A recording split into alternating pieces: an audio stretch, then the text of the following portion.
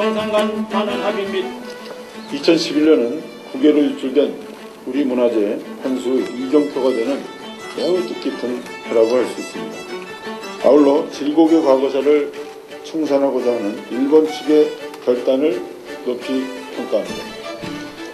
금년에 있은 외교장관 도서와 국내청의 조선왕조 도서관에는 역사 복원의 길이 얼마나 힘들고 험난한 것이었는지를 잘 보여주고 있습니다.